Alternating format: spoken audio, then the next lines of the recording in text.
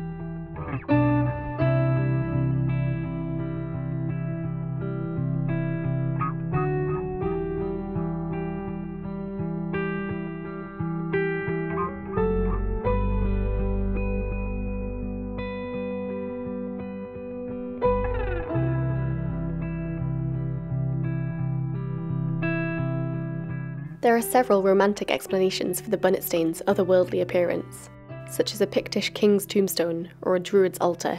However, the bizarre shape was formed entirely by natural erosion of this exposed outcrop of rock.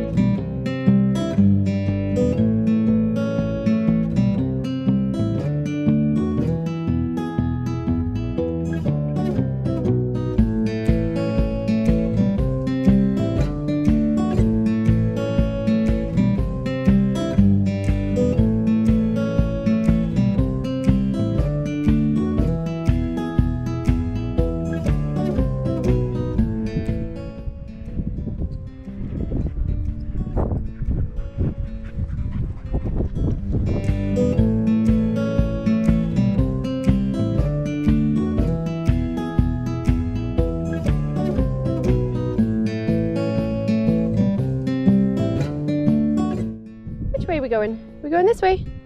Come on then, let's go.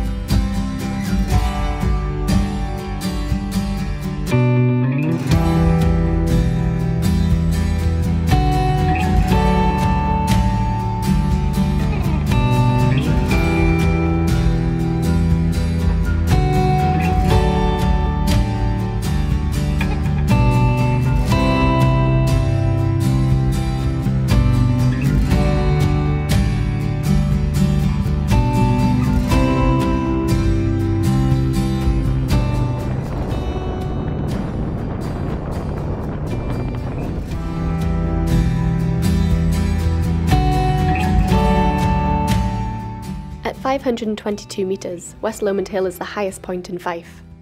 It was once the location for an Iron Age hill fort. Its panoramic views of the area would have helped to give the occupants early warning of any approaching enemies.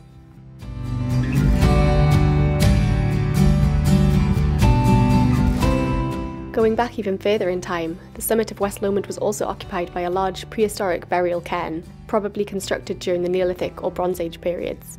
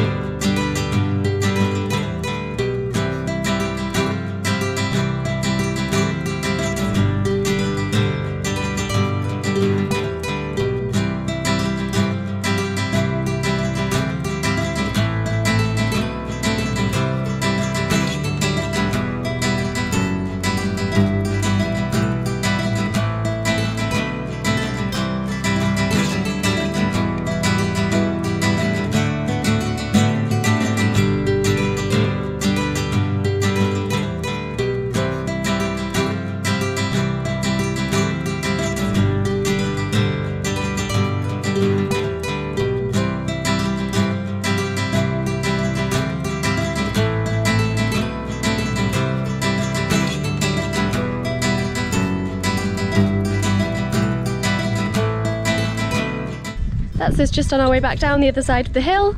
So we've got a bit of a further walk to get back to the car this way, but it's a really nice walk and there's plenty more stuff to see. A really interesting landscape. See all the, the rocks and the red dust behind me.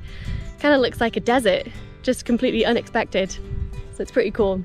I was wondering on the climb why I felt so tired and just really unfit, but then I remembered that I'd given blood yesterday, so I'm down a pint of blood, um, which does explain that. So fortunately it's not a long walk, um, and I'm feeling all right and I've got plenty of snacks, so we'll keep going.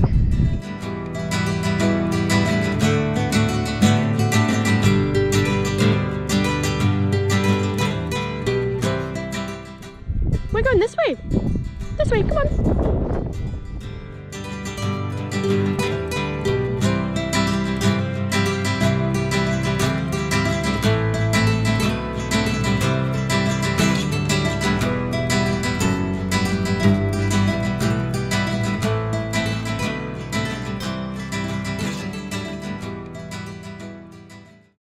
puppy dog. This way.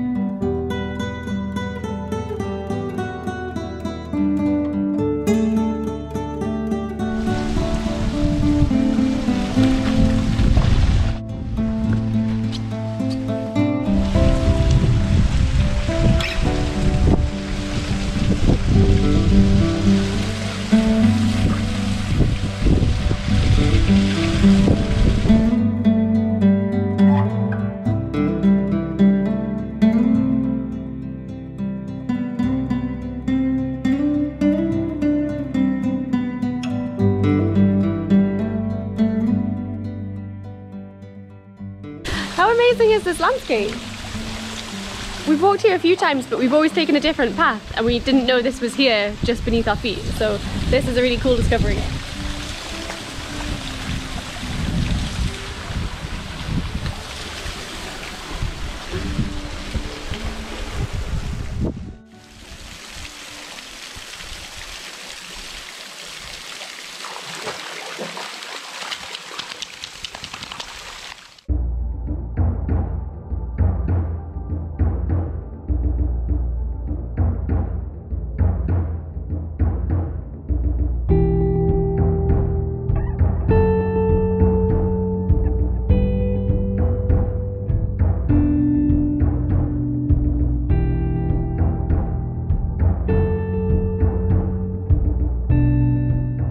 This natural rock formation is known as John Knox's pulpit, supposedly the location for a sermon by 16th century Scottish minister and theologian John Knox. He was a leader of Scotland's Protestant Reformation in the 16th century and the founder of the Presbyterian Church of Scotland, renowned for preaching inflammatory sermons all over Scotland and inciting rebellions against the Catholic monarch, Mary Queen of Scots.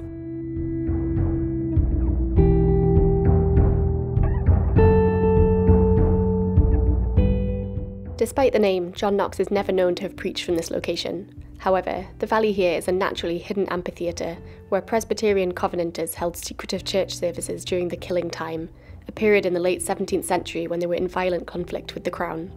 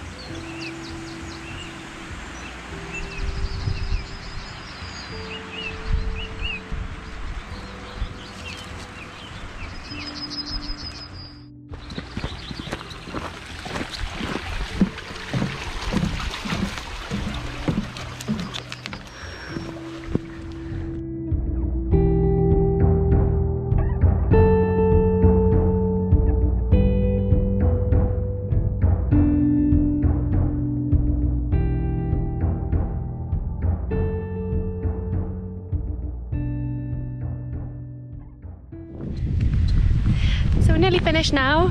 We're just heading back through this little woodland and then we'll be back on the road to walk back to the car.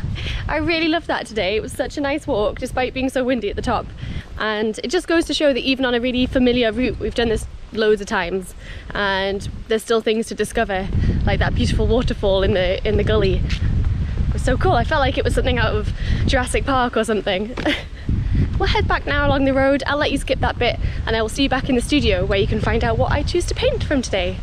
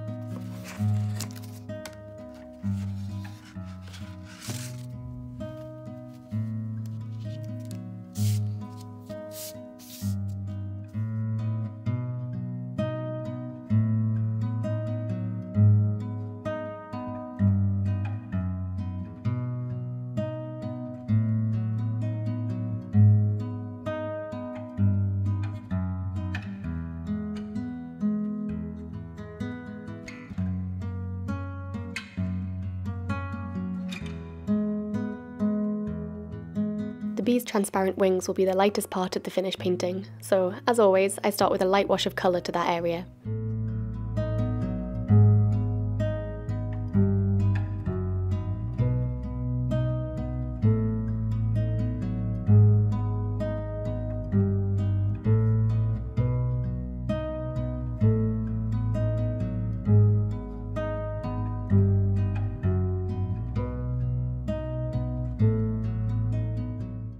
Like to try and get the eye right early on in a painting like this. It brings the subject to life and helps me see how the finished piece will look.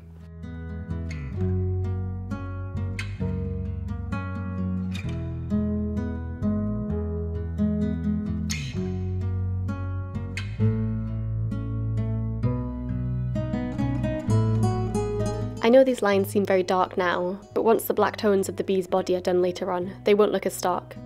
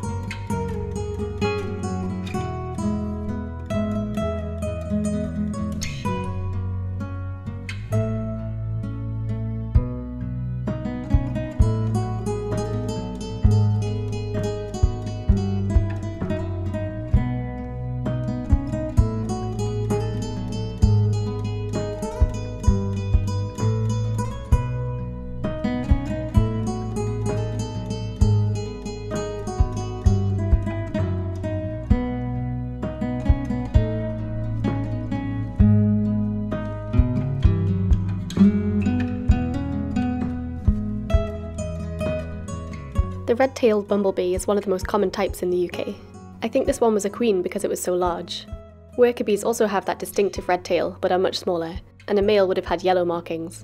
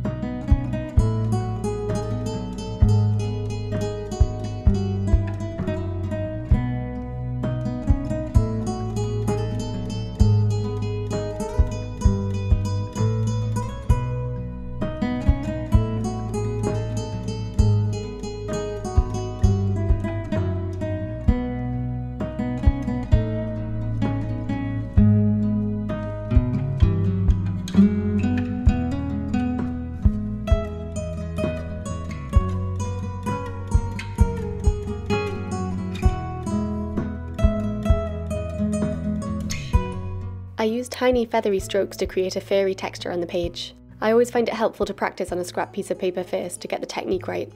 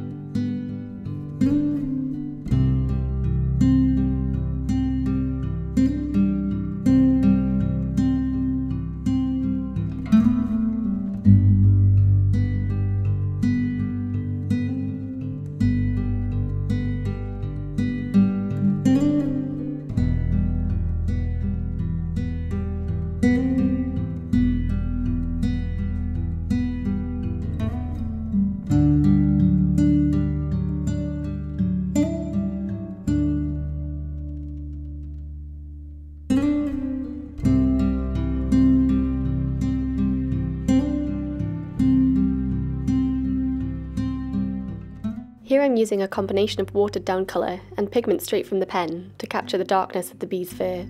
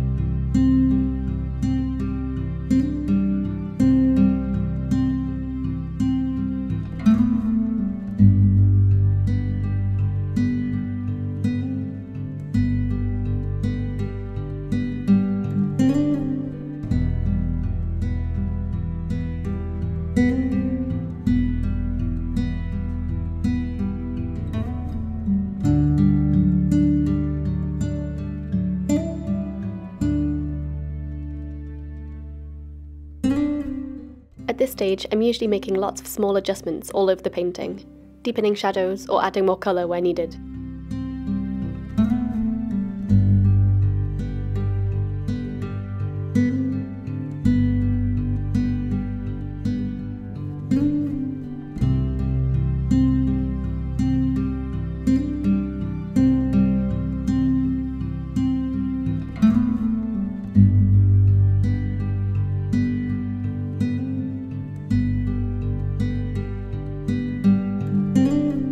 Enjoyed this video and want to support my channel, there are lots of ways you can do this. You can like, comment, subscribe, and follow me on Instagram for free. You can buy a print from my Etsy store, or you can donate the cost of a coffee on Ko-fi. Links to all my pages are in the video description below,